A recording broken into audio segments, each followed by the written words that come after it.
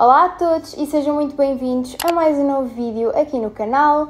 No vídeo de hoje trago-vos o típico vídeo anual que faço, onde vos dou o meu feedback desse ano na universidade.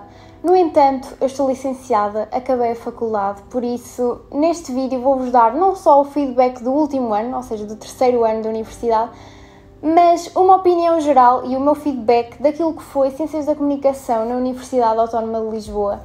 Quero que este vídeo seja super transparente, vai ser a minha opinião, lá está. Isto é aquilo que eu acho, a minha opinião é parecida à de outras pessoas e é diferente da de outras pessoas. A minha experiência vai ser diferente da experiência de outras pessoas, portanto, isto é só a minha opinião. Então, vamos começar de uma forma mais geral Vou falar do primeiro ano e do segundo e depois do terceiro. Vou falar de uma forma muito geral mesmo, porque há coisas que eu já não me lembro bem. No entanto, vocês têm um vídeo onde eu falei da minha experiência do primeiro ano e outro onde falei da minha experiência do segundo ano. Portanto, se quiserem das coisas mais detalhadas e tudo, vão lá ver, porque há coisas que eu realmente já não me lembro. Mas vou aqui ao site da faculdade e vou ver uh, o que é que nós tínhamos no primeiro ano. Então, no primeiro ano, no primeiro semestre, tivemos Sociologia da Comunicação, foi mais ou menos Comunicação e Cultura em Língua Portuguesa. Um, eu gostei, gostava muito da professora. Depois, Comunicação e Modelos de Negócio, já tem mais a ver com marketing, eu gostei. Métodos de Trabalho Científico, uh, eu acho que também era importante. Será que era essa que eu estava a confundir? Olha, não sei, mas gostei. Pensamento político e social, um, eu achava que ia-me correr super mal, mas foi das coisas onde tive melhor nota. No segundo semestre do primeiro ano tivemos Teorias da Comunicação, também gostei. Mídia e Sociedade, até hoje nunca sei, não sei muito bem o que é que nós fizemos nessa cadeira. Introdução ao Jornalismo, foi QB, acho que é, é preciso, mas não era o que eu mais queria, então não me interessou assim tanto. Introdução à Publicidade, eu adorei, pronto, lá está, a área que eu mais uh, gosto é a área da publicidade e tudo mais. Mundo contemporâneo era opcional, eu não tive. Eu escolhi Psicologia Social e das Organizações e eu gostei. Pronto, isto foi o primeiro ano. Lá está, eu agora não me lembro de muitas coisas, portanto vou mesmo ver aquele vídeo se quiserem coisas mais detalhadas. No segundo ano tivemos Semiótica da Comunicação, que eu estava borrada de medo de chumbar essa cadeira, mas fiz. Cibercultura também foi mais ou menos. Comunicação Visual a cadeira tinha potencial, a professora que a deu não, portanto não gostei. Uh, técnicas redatoriais em jornalismo, que sinto que foi uma compilação de introdução ao jornalismo, pá, foi um bocado secante, só andávamos a fazer cenas de hum, entrevistas, pá, não gostei, jornalismo não é mesmo para mim. Depois tínhamos outro opcional, eu escolhi, eu escolhi Direitos Humanos e gostei e tive bastante boa nota. Segundo semestre do segundo ano, Psicologia da Comunicação, eu gostei. Opinião pública e estudos de mercado, lá está, é, tem mais a ver outra vez com marketing, também gostei. Direito, ética e deontologia, uh, estava também com medo, mas acabei com boa nota. Ateliê de imprensa e jornalismo online, lá está outra vez, uma compilação de jornalismo. Yeah, não, isto esta parte devia ser opcional, porque aqui devia ter a parte de quem é que quer focar-se em jornalismo e de quem é que quer focar-se tipo, em publicidade, quem é que se quer focar em marketing, quem é que se quer focar noutras coisas, sabem? Eu sinto que o primeiro e segundo ano está super bombardeado com jornalismo. Depois, ateliê de criatividade publicitária e edição multimédia, a cadeira não teve nada a ver com o que eu achava que ia ser, porque eu achei que íamos uh, falar de publicidade e tudo mais e não tem nada a ver. No entanto, o professor era um amor e eu adorei-o. Uh, e pronto, o segundo ano basicamente foi isso. Eu sinto que o primeiro ano, vamos relembrar que eu entrei em 2020, ou seja, ano de Covid, portanto houve muita coisa que eu não experienciei uh, no primeiro ano. No segundo já, no entanto, eu não gostei assim tanto do segundo ano, não gostei muito das cadeiras, mas pronto, teve de ser. Agora, falando do terceiro ano e último, que foi o que eu acabei de fazer, então, desafios atuais da comunicação foi muito prático, Uh, gostei, no entanto, hum, houve coisas assim um bocado confusas, no entanto, eu gostei da cadeira.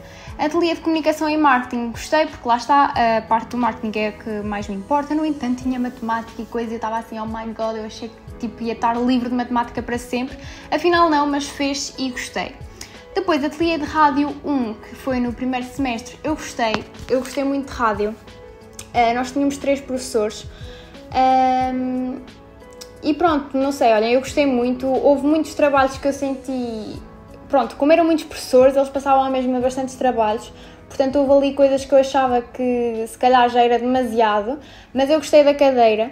Uh, gostei principalmente do irmos ao estúdio e fazermos, fazermos uma emissão, sabermos como é que se mexe nas coisas e tudo mais. Essa parte da cadeira foi a que eu mais gostei, mas gostei muito de rádio, era assim super descontraído, pelo menos para mim eu gostei.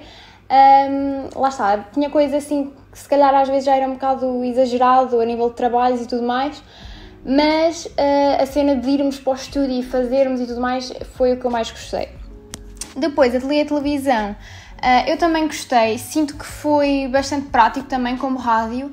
Uh, fizemos bastantes diretos, fizemos Pronto, fizemos uma emissão ainda há pouco tempo, eu sinto que foi mesmo muito prático, gostei muito da cadeira mesmo, era desafiante, tínhamos de trabalhar em grupo e às vezes as coisas não corriam da melhor forma, mas no geral eu gostei muito da cadeira. Depois, no primeiro semestre ainda tínhamos opcionais que havia jornalismo de especialidade e assessoria de imprensa, protocolo e eventos, eu fui para a assessoria e eu não me arrependo de ter ido para esta cadeira, porque esta cadeira é bastante interessante e hum, eram coisas que realmente me interessavam. No entanto, quem lecionou a cadeira, pelo menos este ano, no diurno, foi um professor que para mim foi o pior professor que eu já tive na minha vida. Uh, portanto, eu aconselho vocês a irem para esta cadeira, se não gostarem, se, a vossa coisa não for jornalismo, mas rezem para ser com um professor melhor. Depois, último semestre, comunicação política. Eu sinto que hum, era interessante, mas ao mesmo tempo um bocado secante às vezes, mas pronto, fez-se. Uh, comunicação organizacional eu sinto que é bastante parecido com assessoria de imprensa, portanto havia coisas que se interligavam. Depois, ainda no segundo semestre, tivemos ateliê de rádio 2 e ateliê de televisão 2, que basicamente foi aquilo que eu já disse, era tudo muito prático, era pronto, basicamente uma continuação do primeiro semestre. Depois, por último, o projeto final foi uma cadeira que eu não sei se nos outros anos foi assim, mas basicamente nós este ano podíamos escolher uma das áreas da comunicação, das coisas que nós aprendemos que mais gostemos, ou seja, ao jornalismo, ou publicidade, ou marketing, ou televisão, ou whatever, percebem? Era basicamente vocês escolherem uma dessas áreas e fazerem um projeto. Eu, a área que mais gostei foi a publicidade e tudo mais, então eu fiz uma campanha publicitária. Mas pronto, no fundo o terceiro ano foi isto, eu sinto que o terceiro ano foi muito mais prático. Uh, eu gostei, no entanto, como eu já disse várias vezes, se tivesse mais um semestre eu não conseguia porque eu já andava a bater mal. Precisava mesmo que isto acabasse. O terceiro ano foi bom, mas ao mesmo tempo muito desafiante. Mas pronto, ficou feito e eu sinto que se calhar é o mais difícil de todos a nível de exigência Uh, portanto, é isso. E agora vou responder algumas perguntas que fizeram. Tipo, há, há tópicos que eu já queria falar, mas uh, vou responder a perguntas que fizeram. Por acaso, uh, muitas pessoas descobrem o meu Insta através de vídeos que eu faço aqui no YouTube a falar sobre a, sobre a faculdade e tudo mais. E costumo receber algumas perguntas. Portanto, recebi algumas perguntinhas. E, e pronto, é isso. Mas para além daquilo que eu já falei, vejam mesmo os outros vídeos que eu já fiz, porque eu sinto que são mesmo importantes. Então, perguntaram-me se eu acho que é um curso muito exigente barra difícil. Eu acho que é um curso... Não acho difícil, pelo menos na minha faculdade, noutras não sei. Eu por acaso estava com bastante receio disso porque eu queria Ciências da Comunicação, mas eu só queria vir para Lisboa e a média de Ciências da Comunicação em Lisboa era tipo 18 e eu estava tipo, oh my god, eu não vou fazer esse curso. mas pronto, eh, não acho que é um curso difícil, acho que é exigente a nível de trabalhos, a nível de cumprir prazos e assim. Um, sinto que é um curso, pelo menos naquela faculdade, em que às vezes estamos bem relaxados, tipo, não estamos a fazer nada e do nada espetam-nos com não sei quantos trabalhos para o mesmo para, mesma, para as mesmas datas e isso era uma coisa que eu mudava. Um, mas pronto, no entanto, eu sinto que é um curso que se faz bem, ou seja, não é aquele curso que é completamente impossível de fazer. Portanto, é isso, esta é a minha opinião. Perguntaram-me também, como é uma universidade privada, as propinas são muito caras. Então, olhem, primeiro, o caro é relativo porque o que pode ser barato para mim pode não ser barato para uma pessoa, o que é caro para mim pode não ser nada para outra pessoa. Portanto, lá está. No entanto, eu sinto que, para, comparando propinas de outras faculdades privadas, eu sinto que esta não é assim tão cara. Uh, mas a propina uh, mensal normal acho que é 345. No entanto, se vocês entrarem para lá com. acabarem o secundário com média de. média de 13, acho eu, tipo superior a 13, vocês têm 50% de desconto e acho que ainda há outro de 80%. Olhem, já não me lembro. Mas como eu acabei o secundário com média superior a 13, quando entrei na faculdade tive um desconto de 50%. Mas este desconto de 50% só é válido se vocês mantiverem média de 14, ou seja, eh, eu pagava por mês 170, já, yeah, era isso. Uh, e o que, é, o que é que acontece? Ou seja, no primeiro ano eu tinha de acabar o primeiro ano com média de 14 ou superior, mas se perdesse a média de 14, ou seja, imaginem que eu ficava com média de 13, perdia logo a bolsa. Pronto, continuei uh, com a média, então continuei com a bolsa para o segundo ano. No segundo ano uh, não baixei a minha média, portanto não, não, não foi inferior a 14, ou seja, continuei com a minha bolsa. Depois no terceiro ano também, ou seja, eu paguei a faculdade toda sempre com o desconto dos 50% porque fui mantendo a minha média. No entanto, se vocês vocês até podem entrar com média e terem aquele desconto durante o primeiro ano, mas se forem perder, se a vossa média for baixando, perdem ali o, o a bolsa. Pronto, no, no fundo é isso. Perguntaram-me também: o ambiente na universidade é bom? Olhem, eu sinto que é. não acho que seja.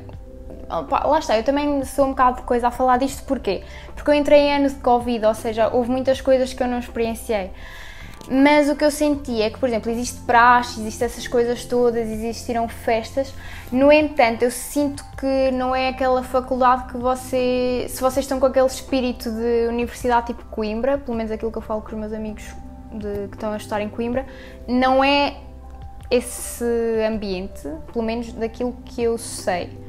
Mas lá está, eu acho que também depende daquilo que vocês quiserem integrar-se, ou seja, se vocês quiserem ir a mais festas, se vocês quiserem fazer mais não sei o quê, tipo, depende um bocado, mas no geral, sim, eu, eu acho que o ambiente na universidade é bom. Que cadeiras mais gostaste e menos gostastes? Uh, ainda agora estive a ver as, as cadeiras e já não me estou a lembrar, mas eu acho que as que eu gostei mais foi tudo aquilo que seja prático, tudo aquilo que liga a publicidade, tudo aquilo que, pronto, o rádio gostei muito também, porque tu, eu acho que no fundo as cadeiras que eu gostei mais foi aqueles em que nós tipo, efetivamente pusemos mãos à obra e fizemos as coisas mesmos. Claro que a teoria também é importante, no entanto, acho que o, que eu gostei mais foi mesmo hum, tudo aquilo que era mais prático e criativo e que nos davam liberdade criativa, sabem? Acho que foi, foram assim as cadeiras que eu gostei mais.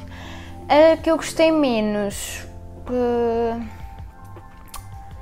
Que eu gostei menos. Não sei, imaginem, acho que depois havia assim cadeiras que não eram assim tão interessantes e que eu ficava pá, isto não vai servir para grande coisa, ou às vezes até pensamos que não e depois até acaba por servir, mas pronto. Acho que foi se calhar isso, ou então cadeiras que eu senti que tinham realmente potencial, mas que não tinham bons professores.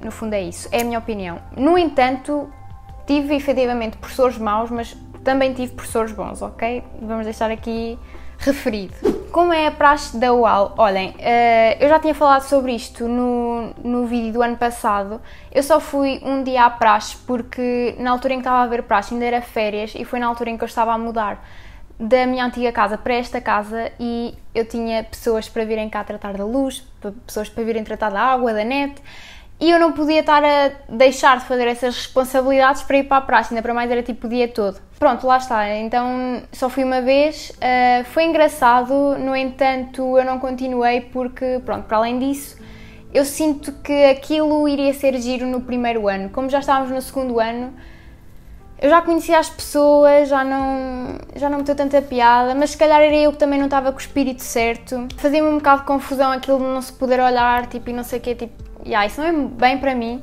mas com o espírito certo eu iria. No entanto, eu acho que não estava. Tenho pessoas da minha turma que foram e adoraram, tenho pessoas que foram e testaram, portanto, eu acho que depende muito do espírito, mas eu sinto que se fosse no primeiro ano eu teria ido e tinha gostado muito. Só que pronto, no primeiro ano foi Covid. Eu acho que no ano passado já me fizeram esta pergunta, porque diz assim: como conciliar a universidade com o resto da vida? Olhem, não sei. Eu acho que consegui, principalmente com as redes sociais, eu acho que eu acho que já tinha falado disso no ano passado, que foi se eu conseguia manter o YouTube enquanto estava na faculdade foi porque certamente havia alturas em que eu não estava a dar atenção suficiente à, à faculdade. Eu acho que, que é uma questão de organização, no entanto, também, também é uma questão de prioridades e se calhar para eu continuar a, a fazer YouTube e não sei o que, tudo super regular, se calhar priorizei várias vezes as minhas redes sociais do que, do que a universidade. No entanto, isso nunca me prejudicou, portanto, já. Mas não, não sei, olhem, te, por exemplo, com o ginásio, para além de eu ter perdido um bocado a falta de vontade, foi uma coisa que eu tive de parar mesmo porque eu andava no ginásio ao lado da faculdade, levava o saco e muitas vezes não conseguia ir porque ou marcavam reuniões ou não sei o quê, então foi mesmo difícil, então tive de parar com o ginásio. Depois tenho, tenho vida, tenho, vivo sozinha, tenho de fazer as coisas, se não, se não fizer por mim ninguém vai fazer, tenho namorado, tenho família, tenho amigos, portanto eu acho que é tudo uma questão de organização. Tipo, por mais que às vezes nós andemos saturados, eu acredito muito, tipo, o dia, o dia tem 24 horas, por isso, se nós realmente quisermos nos focar e organizar, nós arranjamos sempre tempo para tudo, no entanto, com a faculdade sinto que às vezes é um bocado difícil e andamos mesmo saturados. Uh, mas pronto, uh, por exemplo, lá está, com aquilo do YouTube nunca parei, Uh, mas uh, pela primeira vez este ano eu tive mesmo de fazer assim uma pausazinha uh, no YouTube durante, sei lá, deixei de pôr vídeo quê? Tipo, para aí umas duas semanas, se calhar. Foi uma coisa que eu nunca tinha feito e que na altura estava a bater mal, só que eu estava a estudar e a pensar, eu ainda não gravei o vídeo domingo e aquilo estava mesmo a fazer mal, então eu fiquei, ok, não, agora tenho mesmo parar e concentrar-me na universidade porque eu não posso chumbar. No início do ano também ia ter um podcast com, com dois amigos meus Uh, que tinha tudo para dar certo e já tínhamos gravado um episódio e tudo mais, só que acho que nós não estávamos preparados para o que ia ser o terceiro ano de faculdade, tipo, acho que nós não, não, não tínhamos tempo, não tínhamos sequer tempo, uh, não, não dava mesmo, então depois isso acabou por, uh, por não sair, mas, mas pronto, eu acho que é organizarmos a nossa vida e também estabelecer prioridades. Perguntaram, o curso é prático ou teórico? Olhem, foi o que eu já estava a dizer há bocado, eu sinto que eu, eu tenho medo de estar a dizer mal, porque eu entrei em ano de Covid, mas eu penso que continua a ser assim. Portanto, eu sinto que o primeiro e segundo ano são super teóricos e realmente só temos prática no terceiro. Eu sei que é preciso primeiro aprendermos a teoria para depois termos a prática. No entanto, eu sinto que há muitas coisas que se aprendem a fazer. Então, eu sinto que o primeiro e o segundo ano foram muito teóricos, demasiado teóricos e só tivemos prática no terceiro ano e eu sinto muito. Hum, foi uma coisa que eu não gostei. Foi o facto de termos muita teoria e pouca prática. Portanto, é isso, mas no fundo eu acho que tem um bocado dos dois. Mas acho que se calhar prevalece ali um bocado o teórico. Também perguntaram: o curso tem estágio obrigatório? O curso não tem estágio obrigatório, portanto, vocês acabam a licenciatura sem fazerem estágio. No entanto, se vocês quiserem fazer estágio, podem efetivamente fazer. Eu sei que a faculdade tem algumas parcerias, tipo com entidades, empresas, whatever. No entanto, têm de ser vocês a procurar estágio. Eu aqui há uns tempos, hum, quando comecei a ficar importada e querer saber dessas coisas, fui à secretaria perguntar e sei que se nós arranjássemos eles depois podiam ajudar com outras questões e não sei quê mas temos de ser sempre nós a ir à procura. E pronto, não sei, não, não é obrigatório, mas uh, acho que é, que é bom fazermos. No entanto, tu fazes quando quiseres e. Yeah. Agora, eu deixei esta pergunta para o fim, onde me dizem: recomendas a UAL para quem quiser seguir Ciências da Comunicação? Então, uh, isto é a minha opinião. Eu não estou arrependida de ter ido para, para a UAL eu, se voltasse atrás, voltava a tirar Ciências da Comunicação e não digo que não tiraria ali. No entanto, eu sinto que para o que eu quero, ou seja, que é mais a parte publicitária, mais a parte de relações públicas, mais de marketing e não sei o quê, eu sinto que não temos assim tantas cadeiras como se calhar deveríamos ter para estarmos realmente preparados para o mercado de trabalho. Eu sinto que aquilo está muito focado em jornalismo, No último ano também tem bastante televisão, mas, mas pronto, lá está, é só no último ano. Eu sinto que no primeiro e no segundo é ali bué bombardeados com jornalismo, está muito, muito focado para jornalismo e isso foi uma coisa que para mim não gostei. No entanto, se vocês quiserem seguir jornalismo, aconselho totalmente. Imaginem, eu quis Ciências da Comunicação porque tem um bocado de tudo. Mas se vocês estiverem super decididos que querem marketing, não aconselho porque vão aprender muito pouco de marketing.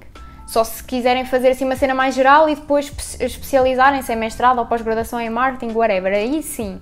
Mas se só quiserem fazer a licenciatura, não recomendo só para isso, porque sinto que temos tipo quê? Duas ou três cadeiras de marketing. Portanto, já. Yeah. Uh, mas pronto, tirando isso, uh, eu gostei da experiência. Há muita coisa que mudava. Uh, como fui dizendo ao longo do vídeo.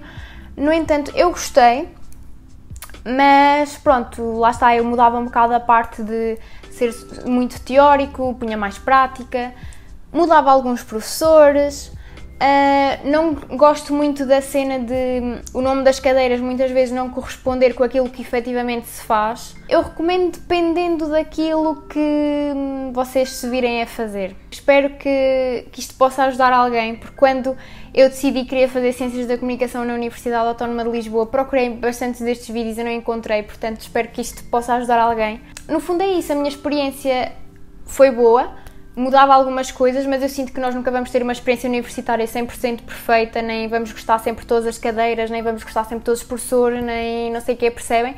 Há muita coisa que deve ser mudada, há outra coisa que está bem, pronto, mas isso cada um é que sabe, isso é a minha experiência, há outras pessoas que pode estar tudo perfeito. E se for o vosso caso, se tiverem a ir para a universidade, seja para esta ou para outra qualquer, boa sorte. Eu sei que isto meio que parece um vídeo de back to school, não é, ou se calhar é. Mas pronto, eu quis fazer agora porque sei que há muita gente que vai se começar a candidatar agora para as universidades. E pronto, é isso. Espero que tenham gostado. Beijinho!